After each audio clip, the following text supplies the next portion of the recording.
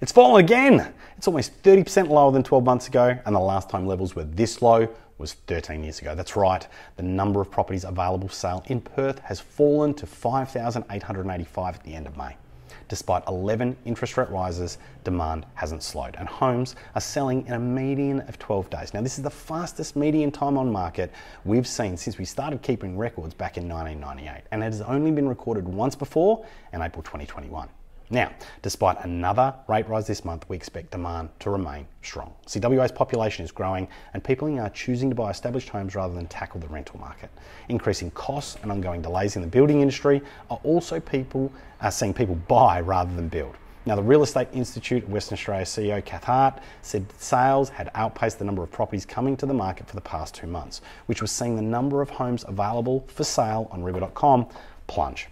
The number of sales each week has been 15% higher than the number of weekly new listings since mid April, she said. And since 2010, sales have usually been 15 to 30% lower than new listings. For sales to be this much higher than new listings is unusual and has only happened a few times in the past 13 years and never for two months in a row. So if this continues, we can expect to see the number of properties for sale to decline further. Now, Despite the drop in the number of properties available for sale, Ms Hart says there's no need for buyers to be concerned new properties were still coming onto the market in reasonable numbers. We did see the number of new listings in April fall, but this was expected. See, people are generally thinking more about the various holidays during April than putting their home up for sale. Numbers picked up again in May, but they're not May, I should say, but are not expected to rise significantly in the next few months, as they tend to be lower in winter when traditionally uh, sales start to increase as we move into spring. The speed at which homes are selling is keeping the number of properties for sale low, and I don't think people need to be worried about missing out. Properties are still coming onto the market, it just takes patience and persistence, and you've got to move fast when they do. Now, houses remain the most popular with buyers, with the number of houses available for sale falling below 2,700, and the last time they were this low was April 2010. Sales activity was greatest in the 500 to a million dollar price bracket, and the million dollar plus range remained fairly steady, but sales numbers did decline under $500,000. All right, let's talk numbers for the Perth property market. And if you want to know how your suburb is doing, then post in the comments below and I'll let you know. Perth's property values are holding up well despite 11 interest rate increases in the past 12 months. CoreLogic's Perth Home Value Index increased 1.3% in May and 2.4% over the past three months. And while all major capital city markets have improved recently, Perth and Adelaide are the only two to show growth year on year, and Perth is the only capital city where dwelling values have returned to record highs. Now, according to reiwa.com, the top performing suburbs for house price growth in May were Hillarys, up 5.8% to $1.1 million, Kinross was up 2% to $632,500, and Halls Head was up 1.9% to $540,000. Secret Harbour was up 1.8% to $540,000, and Melville was up 1.3% to just over a million bucks. Now, Parmelia, Seville Grove, Warnbro, Golden Bay and Byford all recorded over 1% growth. And according to reiwa.com, the fastest selling suburbs were Seville Grove at five days, Armadale, Brabham, Butler, Coodanup, Greenfields, Hilbert, and Port Kennedy at six days, and Padbury and Palmyra at seven days.